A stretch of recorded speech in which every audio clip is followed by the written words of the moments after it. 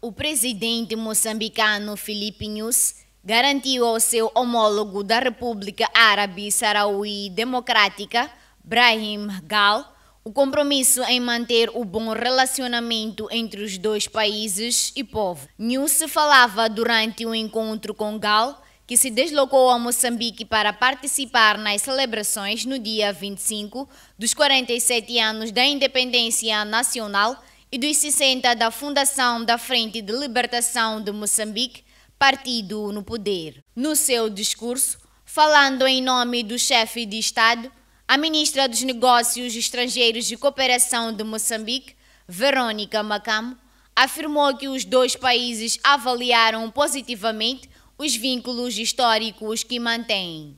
No mesmo âmbito, o presidente da RASD manifestou solidariedade com Moçambique na luta contra o terrorismo na província de Cabo Delgado, norte do país. De referir que o Estado moçambicano apoiou desde a independência em 1975 a causa do povo sarauí na reivindicação da integridade territorial sobre o Saara Ocidental ocupado por Marrocos após ter sido colonizado por Espanha.